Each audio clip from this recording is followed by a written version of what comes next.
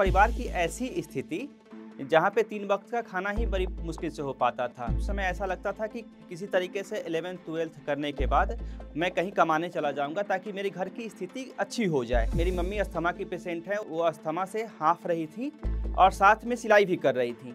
तो मुझे वह सिचुएशन देख के बहुत ही ज़्यादा ख़राब लगा। मेरे एक दोस्त का कॉल आया और उसने बताया कि S S C C G L चौदह का रिज़ल्ट डिक्लेयर हो गया है। जैसे ही उन्होंने कॉल रखा, मैंने बताया अपने घर वालों को कि मेरा सिलेक्शन हो गया है। मम्मी की आँखों में आँसू आ गए थे। मम्मी बचपन की कहानी सुनाना स्टार्ट कर देती कर देती थी कि तुम जब छोटे थे तो कैसे जाया करते थे खेत पे पापा के लिए खाना लेकर के? कैसे तुम जाया करते थे मशीन लेकर के पानी पटाने के लिए? और कैसे कैसे तुम बड़े हो गए और आज बिहार के एक छोटे से गाँव का लड़का, जहाँ ना तो शिक्षा की अच्छी व्यवस्था है, ना ही उतना ज़्यादा लोग पढ़े लिखे हैं, ना ही उतना ज़्यादा गाइडेंस है। साथ ही में परिवार की ऐसी स्थिति जहाँ पे तीन वक्त का खाना ही बड़ी मुश्किल से हो पाता था। पूर्वजों का बनाया हुआ घर तो था हमारे पास, पर उस घर घर का रिपेयरिंग कराना, ये सब काफ़ी मुश्किल था हमारे लिए। घर से पानी टपकता था और उस संघर्षों के बीच में कैसे मैं इंस्पेक्टर बना, आप लोगों को आज बताना चाहता हूँ। नमस्कार, मेरा नाम रोशन श्रीवास्तव है और मैं बिहार के मुजफ्फरपुर ज़िले के एक छोटे से गाँव से बिलोंग्स करता हूँ। और आज मैं जो स्टॉक के माध्यम से अपनी कहानी आप लोगों से शेयर करना चाहता हूँ अब मैं आपको अपने बचपन में लेके चलता हूँ। मेरे पापा एक छोटे से किसान थे तो पापा छोटे से खेत के टुकड़े पे खेती बाड़ी किया करते थे। वहीं मम्मी मेरी सिलाई फराई किया करती थी और घर की आर्थिक स्थिति इतनी ख़राब थी कि तीन वक्त का खाना भी बड़ी मुश्किल से चल पा रहा था हमारा। घर तो पूर्वजों का दिया हुआ था हमारे पास, पर उसमें पेंटिंग कराना, ये सब कराना, ये हमारे बस की बात लग ही नहीं रही थी। बचपन से मेरी पढ़ाई लिखाई सरकारी स्कूल में हुई। क्लास टेंथ तक मैं पापा के साथ खेतों पे जाया करता था। हमारे पास तो बहुत सारा खेत था नहीं, पापा मेरे दूसरे खेतों में पानी पटाया करते थे। और साथ में मुझे भी जाड़ा गर्मी, बरसात, किसी भी मौसम में पापा के साथ हमेशा खेत में एक्टिवली इन्वॉल्व होना रहना पड़ता था। जो बिहार से होंगे उस चीज़ को रिलेट कर पाएँगे। वहाँ पे खेती किस तरीके से होती है? तो हम जाड़ा में, गर्मी में हर हर मौसम में खेतों में रहा करते थे। हमारा बचपन कब निकल गया पता नहीं लगा। जब मैं क्लास टेंथ तक अपने गाँव में पापा के साथ खेतों में काम किया करता था, उस समय ऐसा लगता था कि किसी तरीके से एलेवेंथ ट्वेल्थ करने के बाद मैं कहीं कमाने चला जाऊँगा ताकि मेरे घर की स्थिति अच्छी हो जाए। और ट्वेल्थ करने के बाद मैं किस, जैसे आम एक बिहारी परिवार के बच्चे पढ़ाई करने के बाद गुजरात, दिल्ली, मुंबई कहीं चले जाते हैं कमाने के लिए। उसी तरीके से मेरे माइंड में भी ऐसा ही चल रहा था उस टाइम में। टेंथ क्लास में मेरे इतने अच्छे मार्क्स थे कि लोगों ने मुझे सजेस्ट किया कि तुम साइंस स्ट्रीम लो क्योंकि साइंस में ज़्यादा स्कोप है। इस तरीके से मैं क्लास टेंथ तक हिंदी मीडियम से पढ़ाई करने के बाद एलेवेंथ ट्वेल्थ करने के लिए किसी तरीके से घर से बाहर मुजफ्फरपुर की तरफ़ शिफ्ट किया। साइंस लेकर के एडमिशन तो करा लिया पर पढ़ाई लिखाई के दौरान मुझे एक समय ऐसा भी लगा कि शायद मुझे टेंथ, ट्वेल्थ के बाद पढ़ाई छोड़ देनी पड़ेगी। एक दिन मैं अपने घर गया, पापा से पैसे मांगे और पापा ने कहा कि उनके पास पैसे हैं नहीं देने को। तो एक्चुअली उनकी भी कोई गलती थी नहीं। और वो खुद पहले से ही लोन ले रखे थे खेती करने के लिए और खेती में भी लगातार नुकसान चल रहा था। तो मम्मी उस टाइम सिलाई कर, करके कुछ पैसे सहारा इंडिया में जमा कर रखी थी। मम्मी उसमें से पैसे मुझे दी और मैं किसी तरीके से क्लास ट्वेल्थ किया। ट्वेल्थ पास करने के बाद मुझे समझ में नहीं आ रहा था कि आगे करना क्या है। तो एक दिन मुझे एक किसी दोस्त ने बताया कि नेटवर्क कंपनी ज्वाइन कर लो। मैंने नेटवर्क कंपनी ज्वाइन किया। जो लोग नेटवर्क कंपनी के बारे में जानते होंगे, उनको आइडिया होगा कि वहाँ पे लोगों को जोड़ना होता है। और आप जितने लोगों को जोड़ेंगे, आपका टीम बनेगा, आपको पैसे मिलेंगे। मैं एक साल वहाँ भी लगा दिया, वहाँ से कोई अचीवमेंट तो हुआ नहीं। जहाँ तक कि मेरा एक साल बर्बाद हो गया। अब मेरे आँखों के सामने पूरा अंधकार सच आ गया था। मुझे समझ में नहीं आ रहा था कि आगे जीवन में करना क्या है। तो एक दिन मैं अपने दोस्त विकास से मिला और उससे अपनी कहानी बताई। तो और बताया कि तुम अगर मुझे कुछ स्टूडेंट दे दो तो मैं मैं भी पढ़ाना स्टार्ट करूँ ट्यूशन। तो विकास ने मुझे दो स्टूडेंट दिए और मैं वहाँ से ट्यूशन पढ़ाना स्टार्ट किया। एक दिन मैं अपने ही पड़ोस के एक लड़के अधीर से मिला। अधीर ने बताया कि वो कंपटीशन की तैयारी कर रहा है। तो मैंने उनसे बताया कि मेरे पास तो पैसे हैं नहीं, कि मैं कंपटीशन के टीचर को पैसे दे पाऊँ और ना ही मेरे पास बुक्स के पैसे थे उस टाइम। तो अधीर ने बताया कि एक कंपटीशन वर्ल्ड करके एक कोचिंग है, जहाँ पे प्रभात सर मुफ़्त में भी पढ़ाते हैं गरीब बच्चों को। मैं प्रभात सर से मिला और प्रभात सर को अपनी कहानी बताई कि, सर, मेरा मैथमेटिक्स बहुत बढ़िया है, अगर आप मुझे गाइड करेंगे तो मैं एक दिन सरकारी जॉब ले लूँगा। तो सर ने बोला कि, इससे ठीक है, देखते हैं तुम क्या करते हो। प्रभात सर के यहाँ जाते समय ही वहाँ लोगों ने मुझे देखा कि मेरा मैथमेटिक्स बहुत बढ़िया है। तो ऑलमोस्ट छः महीने क्लास करने के बाद वहीं के बच्चों को मैं ले करके और एक अपना कंपटीशन का क्लास स्टार्ट कर दिया और कंपटीशन का मैथ पढ़ाना स्टार्ट कर दिया वहाँ से। और वहाँ से फिर जर्नी थोड़ा सा स्मूथ हो गया हमारे लिए। जब मैं कंपटीशन की तैयारी स्टार्ट किया तो मेरा पहला एग्ज़ाम था ई का MTS जिसमें मैं अपनी इंग्लिश की वजह से फेल कर गया। फिर उसके बाद एक सीएचएसएल का एग्ज़ाम हुआ, उसके बाद डीआरडीओ का एग्ज़ाम हुआ। तो मैं लगातार दो तीन फेलियोर देख लिया था अपनी लाइफ में, स्टार्टिंग, इनिशियल स्टेज में।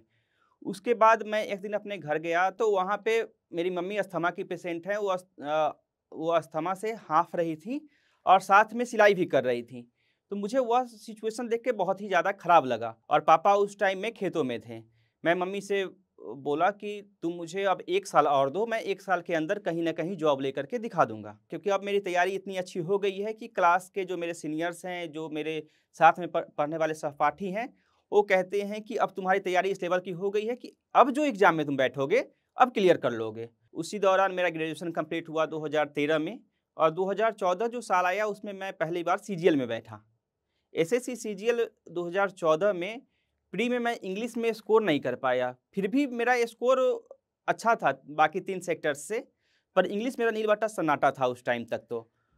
फिर मेंस में बैठा मैं, मेंस में मैथ में तो 175 स्कोर आया और इंग्लिश में 122 अब मैं आपको बताता हूँ कि जिस दिन मेरा रिज़ल्ट आया एस एस सी का, उस दिन मैं अपने घर पे ही था और रात का समय था, मैं सोने जा रहा था। तभी मेरे एक दोस्त का कॉल आया और उसने बताया कि एस एस सी का रिज़ल्ट डिक्लेयर हो गया है। जिसमें तुम्हारा सिलेक्शन टैक्स असिस्टेंट के पोस्ट पे हुआ है। उस टाइम मुझे पता भी नहीं था कि टैक्स असिस्टेंट होता क्या है, क्योंकि उस टाइम इतना ज़्यादा मीडिया था नहीं हमारे पास में सोशल मीडिया या फिर यूट्यूब तो मैं उस टाइम ना तो अपना खुशी का इजहार कर पा रहा था उनसे। पर जैसे ही उन्होंने कॉल रखा, मैंने बताया अपने घर वालों को कि मेरा सिलेक्शन हो गया है अब मैं टैक्स टैक्स असिस्टेंट बन गया हूँ। तो अब हमारी संघर्ष अब धीरे धीरे ख़त्म हो जाएगी। और उसके बाद मैं साल 2014 में कोलकाता कस्टम्स में एज अ ए ज्वाइन किया। सी जी एल चौदह से जब मैं कोलकाता कस्टम्स ज्वाइन किया, फिर उस टाइम में मेरे मम्मी पापा दोनों बीमार रहने लगे थे घर पे। तो अब दोनों जगह मैनेज कर पाना मेरे लिए काफ़ी मुश्किल हो रहा था कि कोलकाता में खुद जॉब करो, फिर घर पे आकर के पापा मम्मी को देखो। तो मैंने उनसे कहा कि आप लोग भी मेरे साथ कोलकाता चलिए अब रहने के लिए। और वो लोग भी एग्री कर गए, फिर वो लोग भी कोलकाता शिफ्ट हो गए। पर मैं उस जॉब से भी काफ़ी ज़्यादा सेटिस्फाइड था नहीं, क्योंकि वहाँ जब मैं देखता था वहाँ इंस्पेक्टर्स को तो मुझे लगता था कि मुझे भी एक दिन इंस्पेक्टर बनना है। और जैसा कि आप लोग जानते हैं कि बिहारी फैमिली में अगर एक बार जॉब लग जाती है तो लोग घर में शादी के पीछे पड़ जाते हैं। तो पापा मम्मी भी उस टाइम शादी के पीछे लग गए थे कि अब शादी कर लो, अब शादी कर लो। तो मैंने उन लोगों को एक दिन समझाया, कन्विंस किया कि आप मुझे थोड़ा सा समय दीजिए, फिर सी जी हुआ हमारा, फिर सी जी में भी प्री तो अच्छा गया, मेंस में इंग्लिश में फिर से स्कोर कम रह गया, फिर से कुछ नहीं हो पाया। सी जी के बाद फिर हमने सोचा कि अब शायद नहीं हो पाएगा हमसे। तो उस टाइम कोलकाता कस्टम्स में कुछ ऐसे लड़के थे जिनका इंग्लिश बहुत बढ़िया था, जिसमें से एक थे विकास और एक थे आशीष रंजन। तो हमने एक ग्रुप बनाया। उस ग्रुप में आशीष, विकास, मैं और दो चार लोग और थे। सब मिल करके तैयारी स्टार्ट करी हमने। तो जैसा कि हिंदी मीडियम से पढ़ने वाले छात्रों को हमेशा से इंग्लिश में परेशानी आती है वैसे ही परेशानी मेरे लाइफ में भी थी। मैं भी इंग्लिश से काफ़ी डर गया था क्योंकि हर बार इंग्लिश में ही मार्क्स कम रह जा रहे थे। तो एक दिन आशीष ने मुझे बताया कि आप किस तरीके से तैयारी करिए। आशीष, विकास, इन लोगों के साथ में मिल करके तैयारी फिर से स्टार्ट किया। फिर से इंग्लिश पे ही लगातार मैं काम करता रहा। इसी बीच में घर की परेशानियाँ तो चल ही रही थी साथ में, पापा बीमार, मम्मी बीमार, और साथ में मैं तैयारी भी कर रहा था। आप सभी को पता होगा कि जॉब के साथ साथ पढ़ाई करना कितना मुश्किल होता है। तो मैं एक प्लानिंग किया था कि दिन में ऑफ़िस में थोड़ा बहुत तो अगर टाइम मिले तो मैं पढ़ लूँ और रात का जो समय है, उसको मैं अच्छे से यूटिलाइज करूँ। तो रात में मैं जब घर आ जाता था तो साढ़े सात के आसपास बैठता था और उस समय से लेकर के रात एक बजे के आसपास तक मैं डेली पढ़ाई किया करता था। डेली मैं ज़्यादा टाइम अपने इंग्लिश पे और थोड़ा बहुत टाइम अपने मैथ पे दिया करता था। मैथ में जैसे मेरा ज्योमेट्रिक थोड़ा वीक था तो मैं पवन राव सर का अपने शर्मा सर का वीडियो देखा करता था। साथ ही में इंग्लिश के लिए मैं के डी कैंपस का बुक और एस पी बक्सी से वर्ड्स साथ में एम बी से मैं इंग्लिश पढ़ा करता था। सी जी एल अट्ठारह से जा कर के मेरा काफ़ी अच्छा स्कोर आया। प्री में इंग्लिश का स्कोर 45 था, आउट ऑफ़ 50 और ओवरऑल स्कोर 195 आया था मेरा नॉर्मलाइज स्कोर। सितंबर के आसपास में सी जी का मेंस हुआ। मेंस से पहले वाली रात को जैसे कि आपको पता होगा कि नर्वसनेस बहुत ज़्यादा हो जाती है तो मैं पहले वाली रात को पूरी रात सो ही नहीं पाया था। अब सुबह चार बजे के आसपास नींद आई होगी और सुबह छः बजे मैं फिर जग गया था। और पेपर देने जब मैं गया मैथ का पेपर देते देते मेरा वहाँ पूरा सर दर्द स्टार्ट हो गया था। मैथ का पेपर कंप्लीट करने के बाद मैं जब बाहर निकला तो मुझे फीवर हो गया था उस टाइम। उसके बाद फिर इंग्लिश का जब पेपर हुआ मेरा, इंग्लिश का पेपर इतना बढ़िया गया इस बार कि जो मैं बता नहीं सकता हूँ आपसे। इंग्लिश का पेपर उस साल थोड़ा ईजी भी था और मेरा बहुत बढ़िया गया था। तो अब एक अंदर से आ गया था कि नहीं, इस बार तो हो जाएगा मेरा सिलेक्शन। उसके बाद, मेंस के बाद डिस्क्रिप्टिव हुआ दिसंबर के आसपास में। और आपको पता होगा कि उस टाइम कोविड आ गया था। कोविड के चक्कर में बहुत ज़्यादा डिले भी हुआ रिज़ल्ट में। और फाइनली मेरा 401 रैंक आया। तो हमारा डॉक्यूमेंट वेरिफिकेशन और फ़िज़िकल जो हुआ था, वो हुआ था जेल नेहरू स्टेडियम, दिल्ली में। वहाँ पे बहुत सारे बच्चे थे। आज मैं बहुत ज़्यादा खुश था क्योंकि एक ड्रीम पोस्ट पे जब आप पहुँच जाते हैं तो काफ़ी अच्छा लगता है आपको। तो उसके बाद हमारा डॉक्यूमेंट वेरिफिकेशन हुआ, साइकिलिंग, जो भी वॉकिंग वगैरह हो गया, उसके बाद राम मनोहर लोहिया में हमारा मेडिकल हुआ और उसके बाद ज्वाइनिंग हुई जनवरी में जाकर के, जनवरी बाईस में। जन, ज्वाइनिंग के बाद हमें ट्रेनिंग पे नासिन फरीदाबाद भेजा गया। जब मैं पहले दिन नासिन फरीदाबाद गया तो उस दिन का इन्वायरमेंट काफ़ी अलग लग रहा था। उस दिन लग रहा था कि जो हमने ड्रीम देखा था, उस ड्रीम को आज हम अचीव कर लिए हैं। पहली बार में जब मैं यूनिफॉर्म में फ़ोटो डाला तो हमारे घर वाले काफ़ी खुश हुए उस चीज़ को देख करके। मम्मी की आँखों में आँसू आ गए थे। मम्मी बचपन की कहानी सुनाना स्टार्ट कर देती कर देती थी कि तुम जब छोटे थे तो कैसे जाया करते थे खेत पे पापा के लिए खाना लेकर के? कैसे तुम जाया करते थे मशीन लेकर के पानी पटाने के लिए? और कैसे कैसे तुम बड़े हो गए और आज इंस्पेक्टर बन गए? मुझे समझ में नहीं आ रहा है कि कैसे हमारा जीवन इतनी, इतने संघर्षों के बाद आज चेंज हो गया है। संघर्ष सबके जीवन में होता है, पर आप इस चीज़ का बहाना बना करके कब तक रोते रहेंगे? आप अब जब मैं एक छोटे से गाँव से निकल करके इंस्पेक्टर बन सकता हूँ तो आप भले ही बिहार के किसी भी ज़िले में हो, चाहे भागलपुर हो, नालंदा हो, या फिर आप वेस्ट चंपारण हो, कहीं से भी आप तैयारी करके मेरी तरीके से आप भी आगे बढ़ सकते हैं। जब मैं सेल्फ प्रिपरेशन करके यहाँ तक पहुँचा हूँ तो आप भी अचीवमेंट ले सकते हैं अपने लाइफ में। बस आपको जिद करनी है अपनी लाइफ में। इसने इसने ढेर सारा इंस्पायरिंग स्टोरी एक से एक बढ़ के बिहारी के।